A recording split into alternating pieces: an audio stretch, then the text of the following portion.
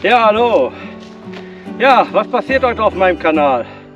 Ja, kurze Rede, langer Sinn.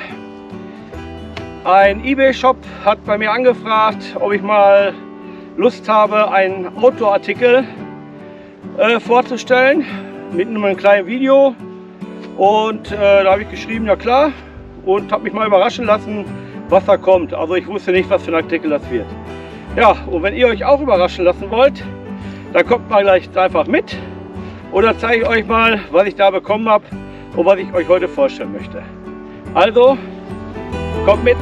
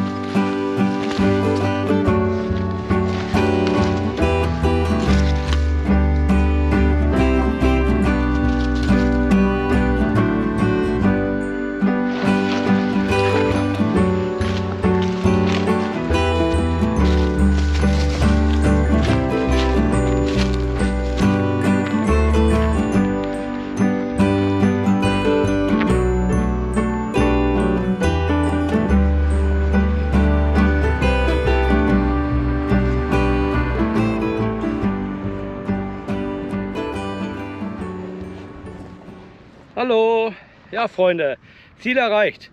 Um was geht es heute in diesem Beitrag? Um ein zwei Personen Outdoor-Zelt. Das baue ich jetzt auf. Infos dazu gebe ich dann immer während des Aufbaus und blende die auch hier unten nochmal schriftlich ein.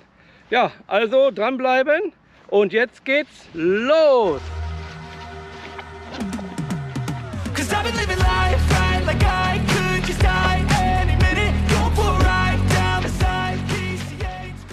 Ja, zu dem Gewicht.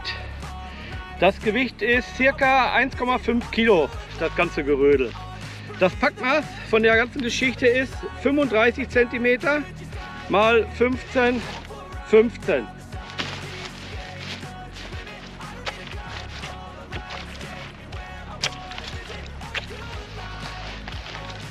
Ja, die Heringe, die sind aus Aluminium. Die sehen schon mal sehr gut aus. Das sind also nicht solche Billigdinger, sondern ordentliche. Ja, und die Stangen, die sind ebenfalls aus Aluminium. Alles hier in so einem Beutel eingepackt.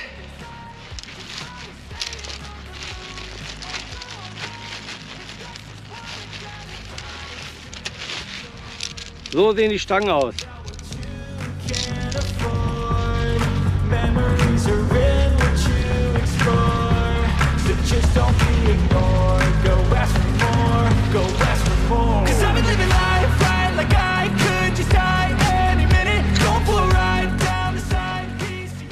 Ja, das Feld, also das äh, Moskitonetz hier, das ist hier so ein Moskitonetz. Das wird am Boden mit vier Heringe befestigt.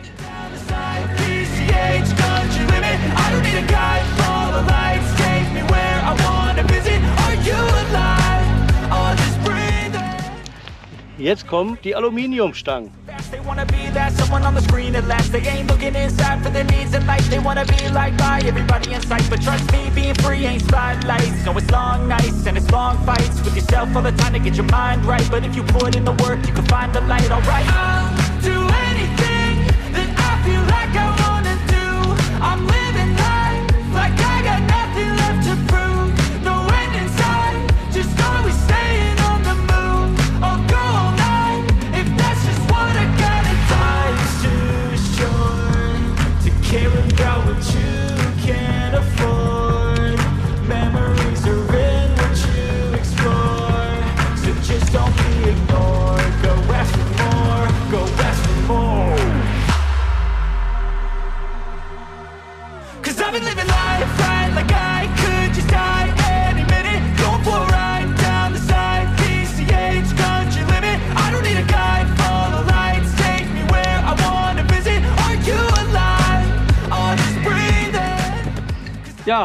das äh, Gewebe und Materialie, das soll äh, 210D Oxford Mesh sein und soll innen wie außen eine Wassersäule von 5000 haben.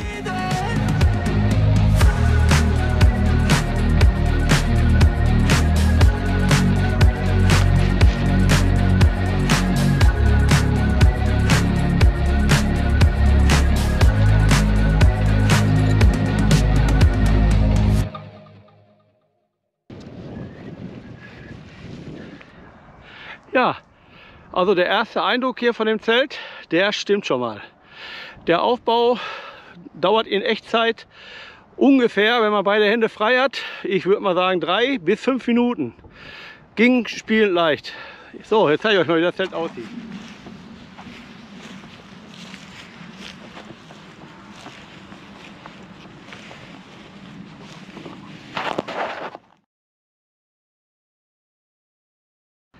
Ja, das Zelt hat vorne einen Eingang und hinten hier ein Lüftungsfenster, wo auch gleich so ein Aussteller mit dabei ist.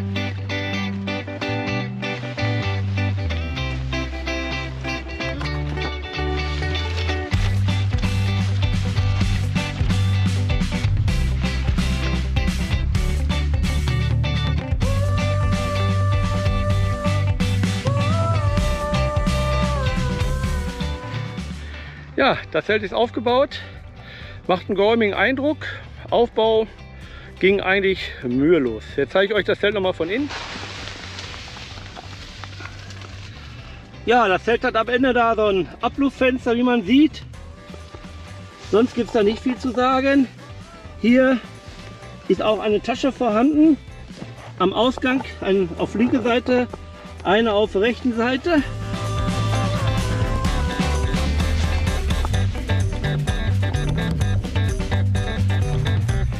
Ja, was hat mir jetzt gut gefallen bei dem Zelt? Ja, das äh, erstmal das Gewicht für die Größe. Dann äh, die Aluminiumstangen, die sind natürlich auch etwas hochwertiger, genau wie die Heringe. Die machen auch einen guten Eindruck. Ja, weiterhin eben der schnelle Aufbau. Also wie gesagt, wenn man einigermaßen geübt ist, jetzt habe ich hier auch noch so ein bisschen Wind hier oben, äh, sollte das eigentlich in fünf Minuten gut aufgebaut sein alleine. Ja, ja innen drin zwei Fächer, eben direkt am Eingang und hinten das Belüftungsfenster. Das ist also, aber ist ja meistens auch Standard bei solche, äh, bei solche Zelte. Ne, wobei, wie gesagt, es gibt ja auch Zelte ohne Fenster. Ja, das erstmal zu dem Positiven. Ja, jetzt kommen wir zu dem, was mir bei dem Zelt nicht so gut gefällt.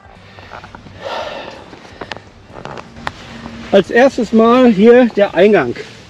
Das Ganze geht hier nur nach unten auf und lässt sich dann im Endeffekt hier aufwickeln oder hier unten reinstecken.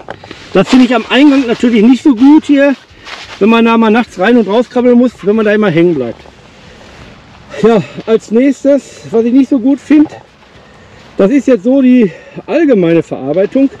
Ich habe es jetzt so ziemlich mittig aufgebaut, aber da ist jetzt hier so der Abstand etwas größer als hier, obwohl hier die Naht ziemlich oben mittig läuft.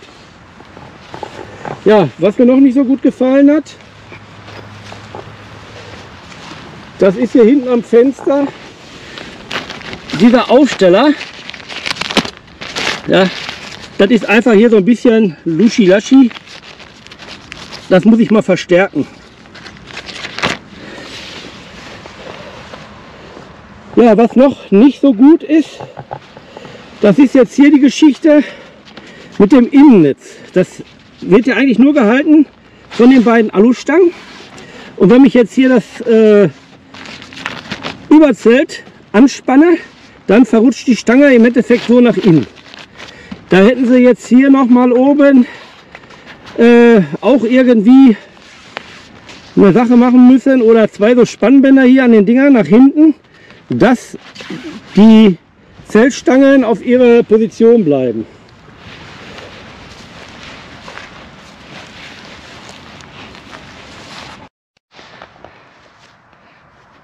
Ja, kommen wir jetzt mal zu den Namen. Also ich habe jetzt so ein äh, Zelt hier bekommen, da steht kein Name drauf. Das ist also so ein No-Name-Artikel hier von dem äh, Lieferanten, keine Ahnung. Es gab auch keine Beschreibung da jetzt bei oder irgendwas. Das war jetzt einfach nur so im Beutel. Ja, angeboten wird das Zelt äh, unter Mountain äh, Kettle. Habe ich gesehen in verschiedenen Shops, bei Alibaba, bei Ebay, verschiedene Sachen. Ja, da kann man mal gucken. Der Preis geht da, habe ich festgestellt, von ungefähr äh, 45 Euro ohne Versand bis äh, 110 Euro. Das hängt dann von der Wassersäule ab. Da gibt es wohl verschiedene Ausführungen, wo eben ähm, verschiedene Wassersäulen vorhanden sind. Habe ich festgestellt. So, ich habe jetzt äh, mein Zelt äh, von eBay und da wäre der Originalpreis gewesen, habe ich gesehen, mit Versand und Mehrwertsteuer 56 Euro von dem Anbieter. Ja, das zu dem Zelt. Ja, wie es mit dem Zelt weitergeht, werde dann sehr wahrscheinlich bei meinen nächsten Radtouren mit äh, Übernachtung sehen. Da werde ich das Zelt natürlich mal im Gebrauch nehmen. Natürlich gibt es hier wieder so einige Verbesserungsvorschläge, die zeige ich euch jetzt auch noch mal. Ja, ich finde jetzt hier diese dünne Kordel etwas äh, schwach auf der Brust. Das werde ich wohl hier wieder auch mit dem Innenzelt verlängern, dass ich hier für Außenzelt und Innenzelt nur eine Kordel brauche. Da spare ich dann schon wieder äh, eben vier Heringe.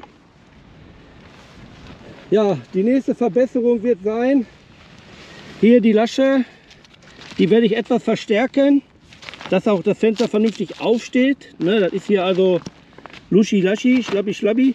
Ja, und hier mit den Stangen, dass die vom Innenzelt zum Außenzelt nicht mehr verrutschen.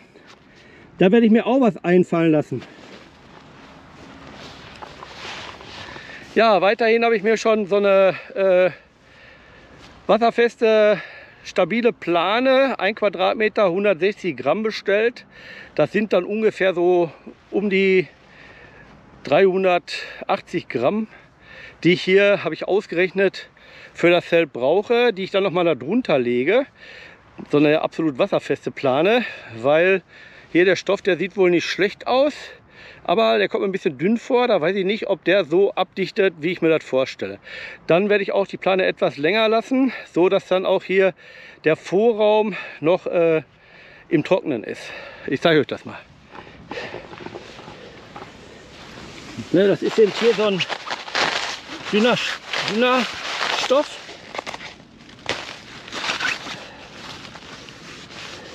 Da kann man auch so durchgucken.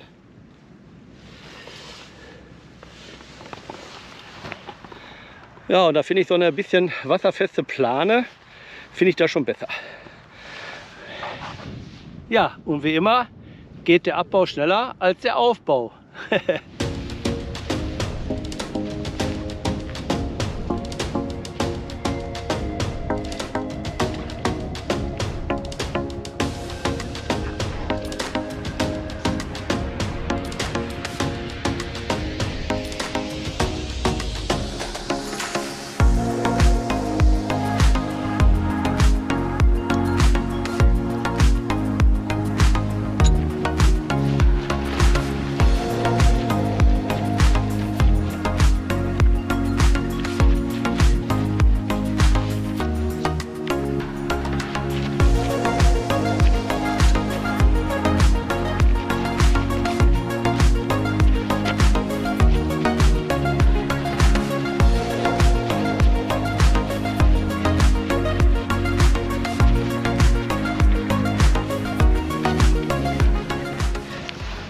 Ja, noch was Positives. Die Innennähte hier von dem Zelt, ich zeige euch das mal. Die sind auch noch mal mit so einem Dichtband versiegelt. Aber ich mache davon noch mal ein Foto.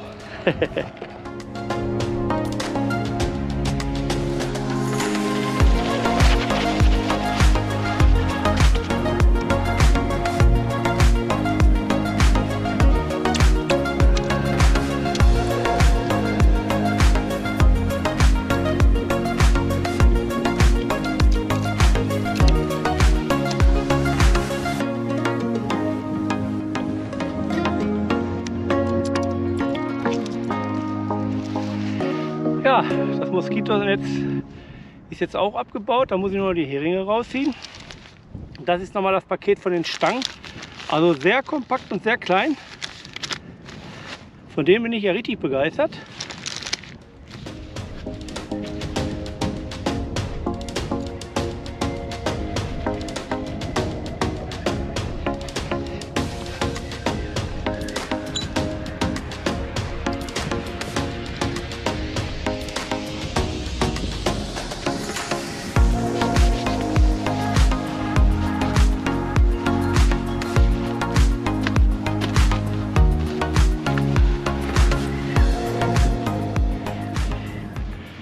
Ja, so, das Zelt ist jetzt gepackt, alles im Rucksack wieder verstaut. Jetzt machen wir wieder auf den Weg nach Hause. Ja, mein Fazit zu dem Zelt. Also wie gesagt, die Heringe sind äh, gut. Die äh, Stangen auch ganz kleines Packmaß, auch sehr leicht, Alu-Material. Das Zelt lässt sich schnell aufbauen, schnell abbauen. Habt ihr jetzt gesehen. ja, äh, wie gesagt, äh, äh, das Zelt kostet jetzt so 52, äh, 54 Euro hier bei dem Händler, äh, wo ich es her habe. Ich habe es natürlich äh, jetzt äh, zur Verfügung gestellt gekriegt, also ist es sozusagen bezahlte Werbung. ja, wie gesagt, äh, für 50 Euro kann man nicht so viel erwarten, aber eigentlich bin ich begeistert. Ja, wie gesagt, jetzt muss ich noch so ein paar Modifizierungen machen an dem Dingen. Und dann werde ich das nächste Mal im Einsatz sehen bei meiner nächsten Tour. Also von hier aus jetzt hier sage ich mal Tschüss. Bis zum nächsten Mal auf diesem Kanal. Euer Jörg, der Gravel Rider. Und tschüss.